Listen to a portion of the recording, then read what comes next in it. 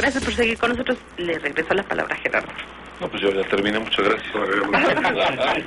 ah, ahora ya no. No, no, yo terminé, terminé mi comentario. Bueno, no, decía que, que había que ver esa circunstancia, que el PRI, bueno, pues el PRI parte de su activo es una cantera importante de, de gente con capacidad para gobernar, ojalá se privilegie a los mejores hombres y mujeres en diferentes cargos públicos para que se tomen las decisiones eh, correctas, técnicas.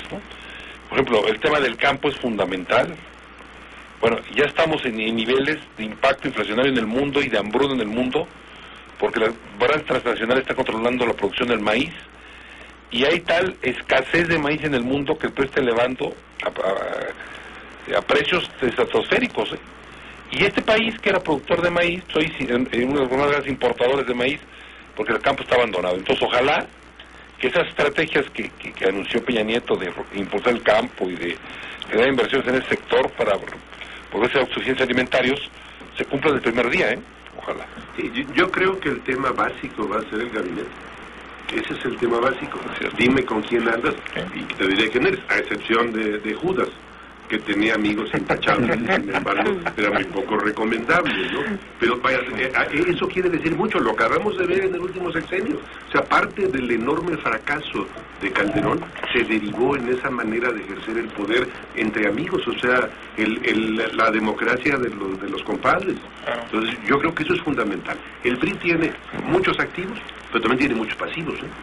Muchos, muchos pasivos. Bueno, y algunos que conviene que sigan pasivos. No, claro, Pero conviene que fueran proactivos. Aquí es el, el, el, el, el que emerjan los, los, los, los activos del partido y que pueda, este, y que los pasivos pues se queden pasivos, ¿eh? Porque digo, bu- este buen favor nos harían estando así y, que se cumplan esos compromisos, eso es fundamental. Y aquí el problema es que el compromiso parte desde la designación de los funcionarios. Esa fue una promesa de las 10 este, claras Nati. Eh, bueno, yo, eh, para estar un poco a tono con los Juegos Olímpicos, eh, diría que no es eh, una carrera de 100 metros, ¿no?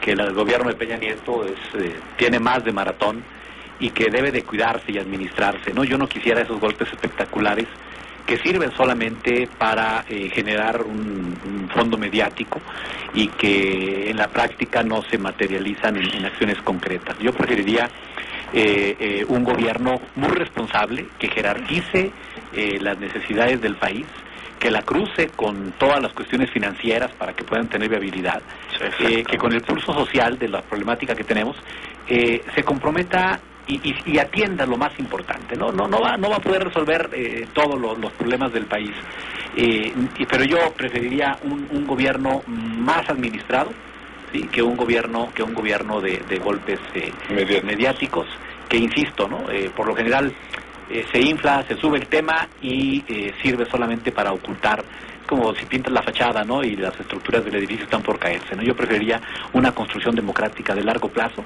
una construcción de políticas públicas pensadas a seis años y, y con eh, siempre con herencia al futuro que eh, algo que sea impactante los primeros 100 días Y con un diagnóstico, preocupante, ¿no? ¿eh? Que lo preocupante es que cada seis años el país de nueva cuenta pasa por un proceso de reingeniería y lo que hiciste en un sexenio lo acaba el, el siguiente sexenio destruyéndolo totalmente.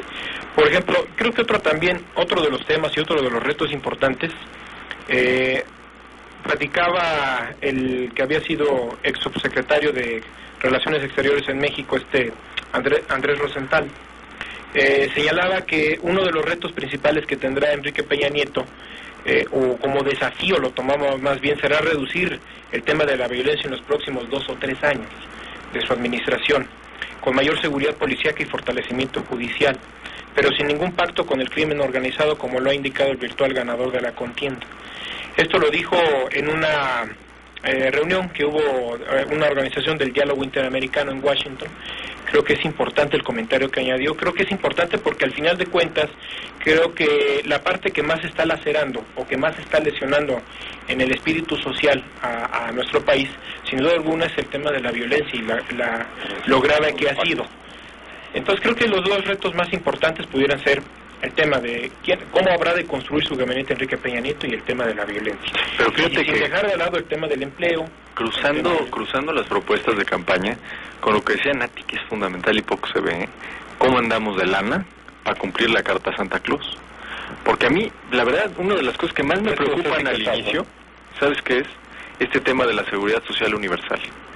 El Claro. gran tema financiero de mediano plazo es el pasivo pensionario en este país.